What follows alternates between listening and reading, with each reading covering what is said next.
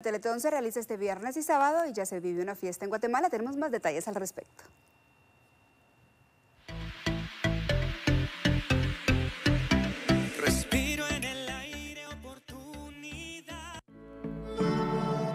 Los salones 8 y 9 del Parque de la Industria serán escenario de la Teletón de este año, los días viernes 19 y sábado 20 de julio. Organizadores se muestran optimistas en lograr sobrepasar la meta de recaudación de 27 millones de quexales para continuar con las terapias de rehabilitación de niños y niñas con discapacidad.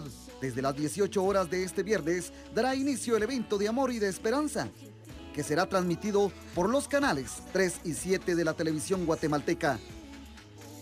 El corazón del guatemalteco es un corazón noble, es un corazón dador, es un corazón solidario y no porque nos lo estemos inventando, sino porque lo hemos visto. Imagínese usted, en 33 años logramos desarrollar el sistema de rehabilitación infantil más importante que hay en Centroamérica.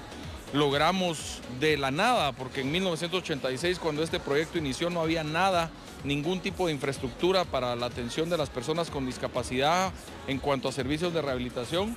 Logramos a lo largo de estos 33 años no solamente desarrollar ese sistema, sino además traer al país equipo como el único equipo de rehabilitación robótica que hay en Centroamérica, el único laboratorio de análisis de la marcha, ocho salas de estimulación sensorial, siete equipos de rehabilitación virtual. ¿Cómo no vamos a ser optimistas cuando vemos que la gente es solidaria? Además, se refirió a los artistas que han confirmado su participación y que se estarán uniendo a este evento de esperanza. Bueno, pues que se acerquen, vamos a tener un programa muy, muy bonito, muy variado. Tenemos artistas de distintos géneros, de distintas edades. Hoy en la tarde vamos a develar ya el listado final de artistas que nos van a acompañar, pero les puedo adelantar algunos. Va a estar con nosotros Joey Montana, Playa Limbo, eh, va a estar Isan Yunas, que es el niño de Luis Miguel en la serie de Luis Miguel. Va a estar para los más, los que son, digamos, más de mi generación o un poco más. Va a estar María Conchita Alonso. Eh, nos va a acompañar también Marcos Yunas, que fue un artista y es un artista pues muy reconocido para gente de nuestra generación.